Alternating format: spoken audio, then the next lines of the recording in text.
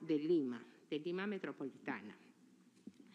En este sentido, en las provincias con nivel de riesgo extremo, hemos decidido hacer un ajuste a las medidas que están vigentes hasta este domingo.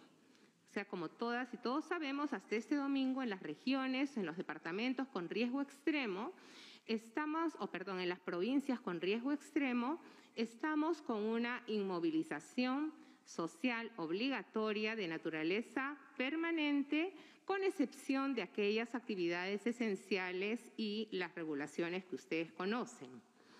A partir del día lunes primero de marzo y por 14 días, es decir, hasta el domingo 14 de marzo, habrá inmovilización social obligatoria y estricta solo por las noches y los días domingos, es decir, el domingo 7 y el domingo 14 de marzo. Estas medidas, por tanto, rigen para o por el lapso de 14 días, como es el, el periodo que venimos adoptando este tipo de disposiciones. Este esfuerzo por dos